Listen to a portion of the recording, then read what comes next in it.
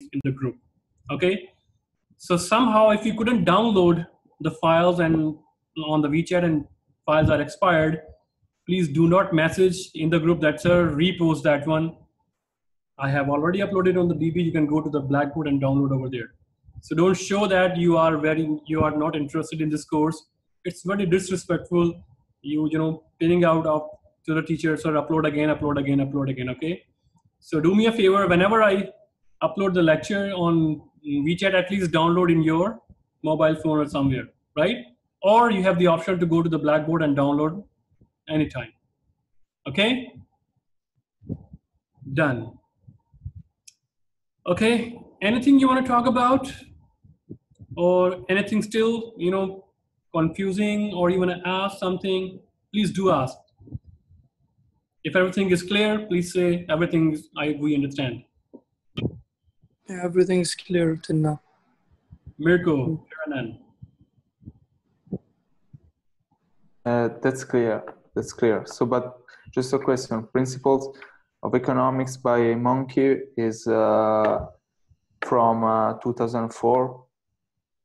it's third edition yes i would be sending you the it's Okay, already okay, okay. okay so you don't need to Thanks. buy that one okay No, no, no. Okay. we have it and i would be sending you its chapters by chapter. Whatever we learn i would be sending its reading material and i would be uploading. By the way all the book chapters are already uploaded to blackboard but i would be also uploading time to time on our wechat. For example today we learn we discussed chapter one so i would be uploaded chapter one to the wechat along with your today's ppts okay? So the, for material don't worry about that. For ppts don't worry about that for understanding don't worry about that. All you need to do just to grasp the knowledge digest the knowledge and apply the knowledge when the situation comes when question comes just apply the knowledge. Okay? Let's start our chapter 1 which is 10 principles of economics. So this is uh, the introduction of economics. So we'll be we'll be learning economics economics include both micro and macro okay? Both. So one branch is micro and one branch is macro. We will be talking about the difference here. And also we will be talking about uh, in our next coming lectures purely micro. So before going into the jumping into you know diving into the 10 principles of economics first of all let's talk about some basic concepts so that before that whenever these kind of terminologies comes to your mind so what does it mean when it comes to economics? So every subject has its own jargons its own language right? So resources in economics we call anything that have value economic value in monetary terms right? For example like gold building land laptop mobile phones right? Cars. So all those services that your mom are doing like cooking washing your clothes you know reciting you uh, very nice uh, you know poems when you go to bed all these are free services. You are not paying to your mom to do that right it means that are not resources Only service in the house. she is cleaning the house your mom is cleaning the house that is not a resource why because you're not Yes. paying to your mom mother you cannot I know, I convert know. services into economic value right Right, but I'm I am. What about the service in the restaurant? well done so if somebody else is cooking for you you have to pay like you mm, hire a maid or cook or chef in your house. You are paying. When you are paying what does it mean? It has economic value. It is a resource. Similarly the sunshine right? So if this tube light is there that uses energy plus i spent some money to buy that tube light the led bulb that is a resource what about the sunshine you didn't pay for that right? So that is not a resource. Right, guys? Similarly, services of a housewife is not resource due to its free nature. Also, the air in which we breathe until some measures are taken. For example, you are breathing and you install purification, right? The O2 oxygen is free for everyone, but if it's in cylinder and you buy from for the hospital or something, that is a resource because you pay money, right, guys? That is a resource. And what do we mean by economy? Economy is coming from a Greek word called oikonomos, which means one who manages household, right? So in fact, household and economies, these two are different. Economies and economy are different. Economy means the person who is managing the household. So the person who is managing the household has common something common between the economies as well. For example, in household, we have some kind of decisions, some kind of rules. Who cooks dinner? Who is uh, going outside to earn the livings, right? Who is eligible to, you know, um, for cleanliness, for decision making, just like similarly in a society, a society must decide what jobs will be done, who will do them, like who will grow foods how many person will be working in banking industry how many person will be you know will be in it nuclear scientist in army personnel right how much would be cabinet how many you know different uh, we can say uh, the uh, ministers right so the how so we have similarity between our household and we can apply this household concept to the overall economy right? So the father of economics, Alfred Marshall, he states that economy is a study of mankind in ordinary business of life. In simple words, economy is a group of people interacting with one another as they go about their lives. What does it mean? Hey, what a nice car! Where you bought that? if I have the if I have the capacity, I would buy that one. Oh, where did where did you buy that watch? Oh, where do you eat? Where did you shop? Right? Where is a cheaper market? Where is expensive market? Where is good quality market? Okay, where is the bank? Uh, how much is which bank I should save my money? So you are interacting with people, and you are creating an economy, right? So now society and scarce resources. So remember, resources are always limited. Scarce. Scarce means limited, right?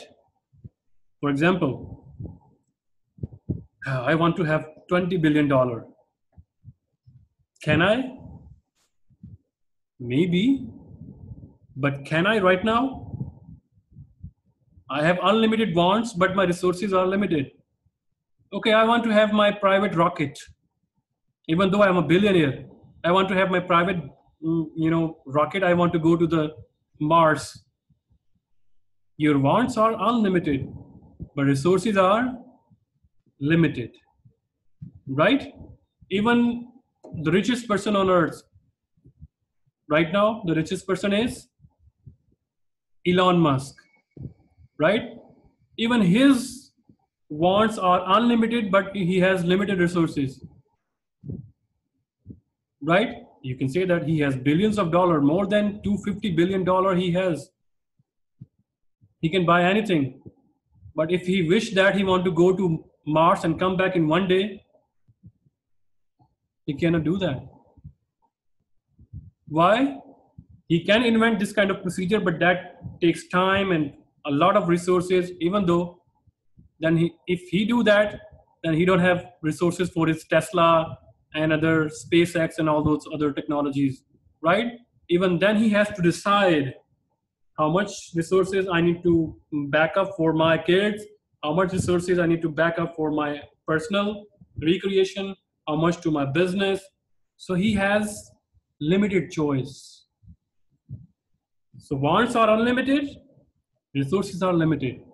So scarcity means society have limited resources. Society cannot give all the people, okay, all become farmers. If all become farmers, then who will manage the banks? Who will manage institutions? Who will teach the students, right? Who will run the company? Who will run the government, right? So society must allocate the resources so that you know we optimize not maximize because maximize we cannot do that because everyone has its own wants right and wants are unlimited you can optimize optimize mean until you know acco- according to your budget your best decision that is according to your resources what is the best decision? If i have $100 can i say that i, I can go to new york by plane the plane ticket is 200 so that is out of my budget. So my optimum deci- decision is that either i take taxi or either i take the train fast train. That's it. So my optimum decision is a maximum decision is that i need to save time i go through airplane but my budget don't allow it. Then i need to optimize my uh, choices. I need to go through train next fast speed train that's it. So that is the optimum decision okay? So you can optimize you cannot maximize right? Because you have limited resources.